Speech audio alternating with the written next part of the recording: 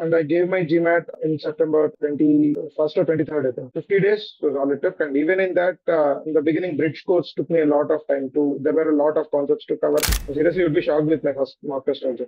625 or something in GMAT before I enrolled in this course. In say first or second week of August. During that time, something told me, of okay, I can get this done. I can, if I can stick to it properly. But I have to do it like a do or die type mode. So no, no other thing. First of all, big congratulations. 715 on your GMAT. Totally worth it. 99 percentile score, a 95th percentile on quant, 84 percentile on verbal, and a 98 percentile on data insights. Um, surprisingly, the the section that is very new data insight and you have scored it like big time so how do you find about this score how do you feel uh, were there any uh, are you happy surprised or you think you could have done better? What's your take on this? I'm actually happily surprised but i feel that i could have done better at the same time because quant was my strongest point even prior to consulting with Sandeep sir and all that. Uh, so I could have done a bit better in quant, but I'm very happy with verbal and uh, data insights both. So that's why I asked uh, uh, you could have done better because I'm seeing that, you know, quant is something uh, probably you could have pulled off. Where did you go wrong? How many questions did you go wrong in each of these sections? Do you recall? Quant, uh, one question. Uh, verbal, it was six questions, and data insights, it was four questions. One question costed you five percentile. Was Yep. what was the position of the question? Last question, the very last question. 20th question. Uh, sorry, 20, 21, yeah. 21st. 21st question. Yeah. Oh my. So one of the things that tells us that the uh, number of questions, uh, if especially in quant, you, you can't make any mistake right there. So um, again, a very brilliant score um, right here, and which means to say you can really apply to any of the school, like the choice you have unlimited choices or rather the sky is the limit for you with this score right? Uh, the score is good enough for any uh, for any admissions at any school. Now tell us about your journey as to how the gmat thing happened. Uh, how did it come to your mind and what was your plan um, going forward and then how did you prepare like in chronological order? So you mentioned quant has been the strength right? So what were you struggling with in the very beginning and uh, how did you progress with your preparation? So actually, MBA has been a dream of mine for the past five, six years nearly. I have tried in CAT also, but due to certain constraints, I couldn't get into colleges I'm satisfied with. Uh, in this year, I wanted to take a career, career break of one year and I wanted to see a circle. And uh, uh, when I was going through certain friends who wrote the GMAT recently, I've come to know that I've come to know about top 1%. A cousin of mine, Sai Srinath Reddy, he he scored around 720 GMAT, not focus edition, GMAT. And he said that it was pretty good. So I wanted a demonstration or demo of it. And when I consulted your organization, I felt very satisfied with my weakest point being verbal and the way sir explained the octave principle and the way he made me understand where I'm going wrong. I mean, one hour was all it took to, get where I'm making mistakes in the first session itself. Right. So that uh, that gave me a boost up. And the word he said, okay, if you trust something, trust it to the end. And uh, I promise you a score you'll definitely be satisfied with. But the thing is, you have to be consistent. Only consistency can do. So I enrolled it in the end of July, 31st of July, actually. Right. Uh, and I gave my GMAT uh, in September uh, 21st or 23rd, I think. 50 days was all it took. And even in that, uh, in the beginning, bridge course took me a lot of time to, there were a lot of concepts to cover. So I had to, I went through the whole course. I completed the whole bridge course and I had to put more than 10 hours most of the days. So I was able to get it done. Only thing I'm not satisfied with myself was if I could have gotten, say, 10 more days of more effort, uh, I could have definitely cleared 100% with the support that your institute has given. Right, right. So tell me about yourself. You were able to put 10 hours a day. What were you, were you working? What, what were you professionally doing otherwise? I was working in uh, till July and August actually. Right, Uh, August was more of uh, my relieving time. right, So uh, despite that, uh, I had to pull off some extra hours in the evening and all. September was complete 10 hour types, 10 hours a day. right, August was more like six to eight hours types a day. right. So, uh, in the initial beginning itself, you said you had to do some of the basics and the entire bridge course itself took a little longer time. Um, was there any point where you felt like, no, I'm not understanding or I'm not making any progress? Like, what kept you going every single day? It's not easy to be doing one thing for 10 hours or at least six, seven hours every single day for 50 days, let's say. So what kept you moving and what kept you uh, progressing?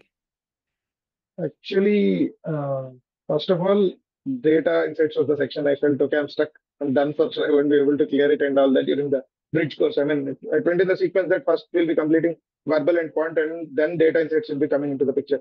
Though data sufficiency was added uh, into data insights section, Mhm. but uh, data sufficiency and all the I mean, uh, multiple data uh, reasoning, uh, Yeah. these two were like, Multi-source was- reasoning. multi-source reasoning, multi-source reasoning. Yes. Yeah. I was completely stuck in that zone. I felt like I wasn't able to get even 50% right and all that. But uh, quant successively, even in the mocks uh, you have provided and in the exercises, I was consistently able to score 95% plus. Yeah. And uh, even verbal also, my scores improved from somewhere around 40% to 75, 80% consistently. So that uh, that kept me motivated. Okay, if I can do this right, I can also, maybe I'm going somewhere wrong in data in that section. So I'll go with the flow and I'll see where uh, I can reach a sufficiently satisfactory level. If I'm not reaching it, then I'll get back to the institute once.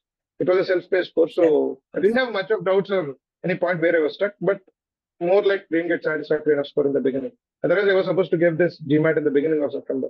Right. postponed by 20 days. Because you were now very confident with data insight. Now tell me, uh, especially in verbal, how did you go with your practice or even studying, making your concept? What material and what content really stood out for you? Uh, any particular material that you practiced and suddenly change the way you were approaching a given question? Um, and then you really approach it completely different, which led to higher accuracy.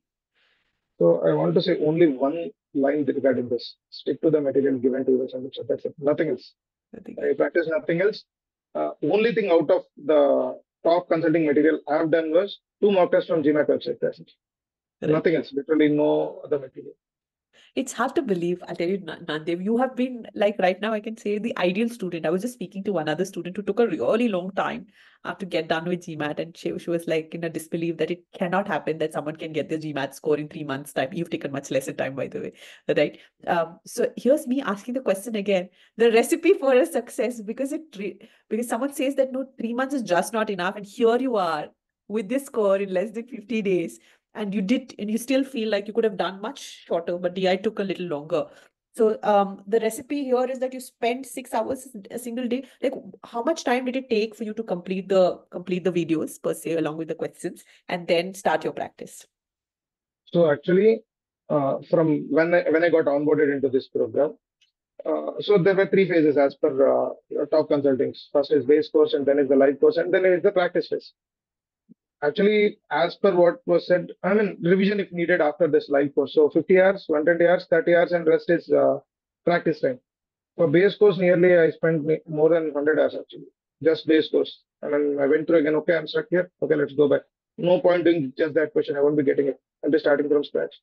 Particularly in uh, critical reasoning, that too in conditional reasoning. In critical reasoning, numerical concepts I was uh, confident of, but uh, even conditional reasoning took me less time, but uh, more of uh, assumptions, inference-based questions. Uh, these two had me going on the run actually. right They were even the last exam I was uh, hardly 50% correct in assumption questions. So these things actually, uh, if the base course put your, if you are straight with your concepts, your basic concepts, foundation is right, then I feel that live course was actually, I enjoyed it actually. When 10 hours working straight a day. And most importantly, uh, whenever in the beginning, I used to sit in sessions of one hour, spanning one hour. So that was, I felt it was pretty useless. That was where I felt I wasted time. So at least two to three hours, that was the minimum session length I have to sit through if I want to get it right. At least the length of a GMAT test. right right In the test, uh, while doing the test, it was literally a breeze. I mean, those first questions are a lot harder in these pa- passages. I mean, passages are lengthy as anything. I mean, each passage took me just four minutes nearly to read and get, get a basic gist of it. Whereas in GMAT, it hardly took two minutes. I had plenty of time to review also all that. Nanadev, I have to tell you one thing that um, there's still an element of surprise or a secret which uh, tells us that, you know, when you say something like, uh, look, if I had a problem with a certain question, I'm not doing just one thing, I'm doing the entire thing. That just blows my mind because that's not how, uh, least Shiddat they say in Hindi, you know, it's it's not with that kind of Shiddat people actually sit and study. Because people generally give up. Ki, "Oh, let me take a break. Let me go out. Let me come back again and then come back to doing this. This is one thing is Sandeep sir's course made it really enjoyable for you. But your personal, uh, you know, you gave so much of time. You really put that effort. That is commendable, I would say. Where did that come from? Where did sitting for that long hours, going back and not worrying about, you know, I'm going through this entire thing again, uh, you know, not Yeah. affecting that. Where did that come from? Um, if you can, because this is something about you, right? Wh- Something Yes. about top one percent Sandeep Gupta, you know, people get to experience. But some of the qualities that is really required to be able to get it get it within 50 days, that's what I'm asking about. Actually, Natasha, I used to look pretty lazy. I don't get tempted that much. Generally, I was not, uh, except for during work and all. Like uh, I'm pretty casual guy and all. I feel that uh, even when I gave my CAT, I didn't spend this much uh, dedicated time. Though I didn't subscribe any material or anything. But this time, I don't know. Something tipped me off in the beginning itself. Say, uh, registered on July 31st in say first or second week of August. During that time, something tipped me off. Okay, I can get this done. I can if I can stick to it properly. But I have to do it like a do or die type mode. So no, no other thing, just somewhat uh, focus. That's all. Do you recall what tipped you off? Because because it tipped you off too good. I mean, uh, being from lazy to being so committed. This is a quality I was also speaking of. Sticking for so long really speaks uh, immensely about a quality in a person you will be after an MBA or during an MBA. It's the kind of thing that you would require that attention span, sitting and making sure that it's done every single day. And uh, you know, anybody who you know anybody who is going to be taking an admit or whichever school you would you have to showcase this this quality of yours because it's it's very commendable but what tipped you off Well, like uh, firstly, I mean, as I said in the beginning, basic course, my scores were bad and I was getting very less accuracy. Then quant, quant was okay. The rest two were barely 50%. So seriously, you'd be shocked with my first mock test also. 625 or something in GMAT before I enrolled in this course. And that too, a few questions were lucky guesses.